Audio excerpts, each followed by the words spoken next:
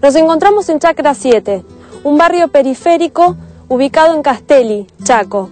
Aquí vamos a hablar con dos referentes de la comunidad Tobacom que nos van a contar cuáles son los problemas que sufren de agua, electricidad y principalmente del basural que está instalado a solo 100 metros de donde viven. ¿Hace cuánto que viven en estos terrenos que está pegado a este basural? Mira, los basurales hace muchos años ahora que están acá, pero nosotros estamos viviendo un año y algo estamos viviendo en esta tierra que nos dio el señor gobernador.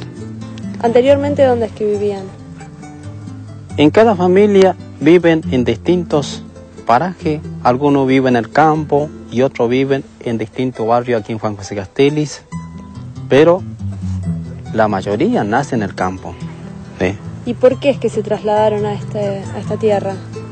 Porque en ese momento hay un concreto que, que nos dio el señor gobernador que él firmó, porque todos los que están acá este, necesitan terreno para la familia, porque hay muchas familias que no tienen terreno y están en otra casa, ponerle la casa del tío, el hermano, el suegro, la suegra, pero tiene su familia.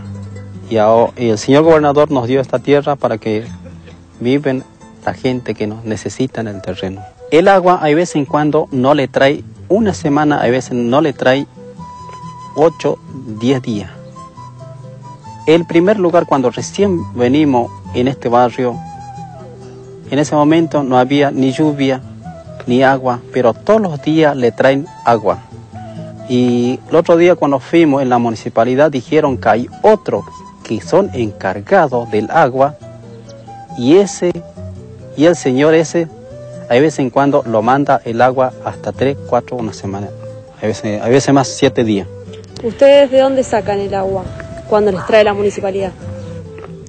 Hay un cisterno, hay un aljibe en el barrio que nos dio al señor intendente 8.000 litros tiene el cisternos. Y le traen agua, ponele anteayer, ayer trajeron el agua, 7.000 litros bajaron y esos 7.000 litros de agua duran un día y medio y se terminan. Y mañana viernes y el otro día sábado y domingo, no sé si van a traer para el día lunes o martes. Claro, después están muchos días sin Y muchos días sin agua. Y lamentablemente tenemos que buscar en otro barrio, en bici, eh, a pie, un carro. ¿Cuánto se tienen que trasladar más o menos para buscar agua en otros barrios? Acá el otro barrio queda como 400 metros y el otro barrio queda como 500 metros de acá. Con respecto a esto que decía de la electricidad, ustedes no tienen luz. Acá no hay luz, nada, completamente nada. Eh, el cable de electrificación, ahí donde nosotros vivimos, la Chagra 7, queda como 300 metros. Ahí termina el alumbrado público. Por, eso, en ese momento nosotros hicimos una nota del señor intendente hacia el señor gobernador. Y hicimos una nota para que nos les dé este alumbrado público de nuestro barrio. Porque necesitamos también tema de agua. Ahí queda como 300 metros. Ahí donde nosotros vivimos, la Chagra 7, hay unas cañerías, el asfalto, el, asfalto que van hacia Miraflores. Hay unas cañerías, ahí termina como 200, 300 metros, tema de agua potable. ¿Y ustedes acá de qué viven? ¿Qué, ¿Cuál es el trabajo que tienen? Mira, de vez en cuando hace, hacemos unas changas en el campo, de estronque o limpieza del hambre. Ahora hay algodones. De vez en cuando cosechamos si hay lindos días cosechamos, pero no le paga nada.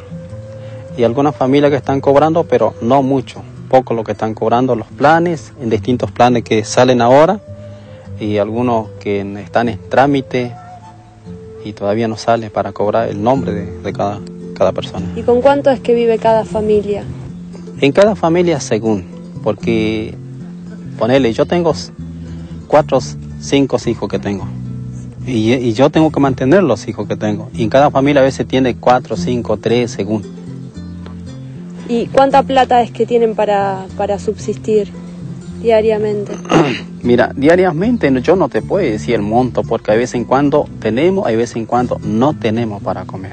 Acá no hay conexión de luz, no hay agua y falta la, la limpieza y el traslado del basural también hasta ahora estamos esperando ya hace dos meses ya estamos el- en la espera y, eh, pero todavía estamos siguiendo ¿Les este prometieron que van a venir a sacar el claro basural? sí sí ya le prometieron esa vez que, que saquen ese basural pero hasta ahora estamos esperando por- pero eh, vamos a seguir luchando todavía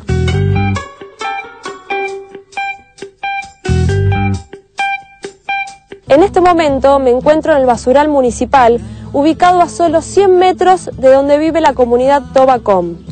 Este basural produce contaminación en el agua, así como enfermedades respiratorias por la permanente quema de basura.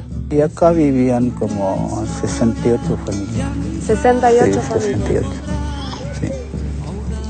Bueno, o sea que problema fundamental que saquen el basural, Sí, luz, agua, eh, alguna escuelita para que los eh, chicos tengan escuelita y educación el y algún centro de salud de salud, para que sean atendidos. Claro, sí, sí, sí.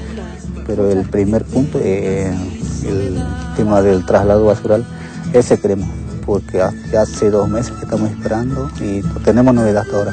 ¿Y a ustedes qué le dijeron? ¿Que lo iban a trasladar? ¿Les dijeron algo y esa vez sí, las autoridades? sí, eh, esa vez ya eh, dijeron que se van a trasladar eso. Pero hasta ahora no tenemos novedad otra. No pero no, no, no dejamos de eh, bajar los brazos. Eh, seguimos luchando por el tema de eso, basural, hasta que, que, que sabe que saquen eso. Tema de basural es una situación para en cada familia y en este barrio. Este barrio son muy humildes y este barrio son, necesita muchas cosas y no hay trabajo. Algunos están cobrando, pero no mucho. Y son pobres, yo lamentablemente digo así. ¿eh? Lamentablemente necesitan y este basural estamos pidiendo el traslado porque hay muchas contaminaciones, parte de los chicos y los grandes también. ¿Dónde está eh, instalado este basural con respecto a las tierras de ustedes? En este basural, lo que estamos viviendo ahora, eh, de aquel lado, ahí termina en el barrio de Saitaria. Ahí termina en el barrio de Saitaria que nos dio al señor gobernador de la provincia del Chaco, don señor Jorge Vilton Capitanito. Bueno, de ahí termina y esta basural queda como 40 metros donde estamos viviendo. Está pegado. Está pegado, está pegado. Mira, de vez en cuando viene a otra persona en otro barrio y prende fuego. Cuando vienen, corre, corre vientos norte y cae de donde, donde nosotros estamos, cae este, el humo. Y el humo también trae las contaminaciones, enfermedades. Y hay veces en cuando agarran dolor de cabeza porque por el olor que hay en esta basural. El basural trae enfermedades. Mira, hay como cuatro, cuatro familias, o sea, cuatro personas que ya murieron ya en este barrio.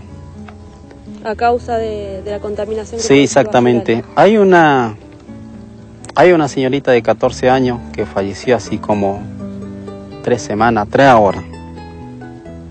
Primero falleció el hermano así como tres meses atrás. Ahora, tiene 18, 20 años tiene el muchacho y la señorita tiene 14 años, me dijeron. Y hay un señor que tiene como 45 años, también falleció. ¿Cuáles son las enfermedades que le produce a las personas de- del barrio eh, la contaminación de este, de este basural que, por lo que podemos observar, es muy grande, ya se siente el olor, eh, no me quiero imaginar cuando prenden fuego. eh, ¿Cuáles son las enfermedades que produce esto?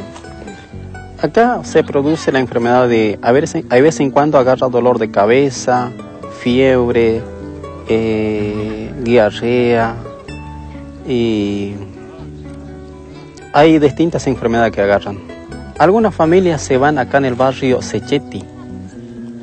Acá queda como 300 metros, 400 metros de acá. Queda en el eh, hospital Secheti. Pero el hospital, o sea, en la sala, atiende a la mañana. Desde las 5 a las 6 de la mañana sí o sí tiene que sacar turno para que cuando llegue el doctor a las 9, a las 10 ahora, atiende el doctor, ahí tiene que presentarlos. Pero sí o sí tiene que sacar el turno a la mañana.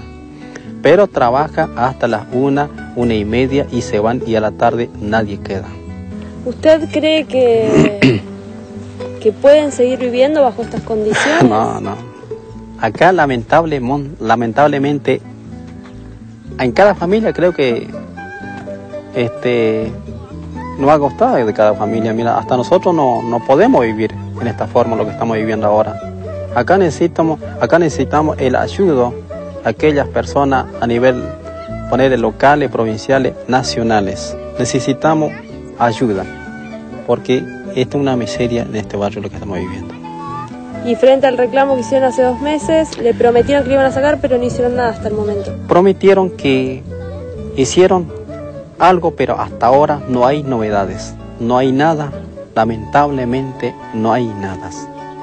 Y esta semana, ayer tuvimos una reunión, pequeña reunión entre comisiones y queremos hacer otro reclamo. Nosotros queremos ir a la, ruta nuevamente porque queremos el traslado de esta basura. ¿Ustedes hace dos meses cuando hicieron el reclamo cortaron la ruta? Sí, cortamos. cortaron? Cortamos acá cerquita. En ah, esta ruta, sí, Ahí cortamos. ¿Qué ruta es? Este ruta, mira, no me acuerdo. Este se van a Miraflores. ¿eh? Ustedes cortaron la ruta y ahora, eh, dado que no encuentran respuestas, quieren volver a hacerlo. Exactamente, exactamente porque no, no podemos vivir así.